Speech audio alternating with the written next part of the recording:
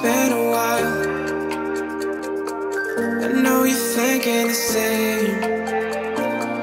But I've been feeling like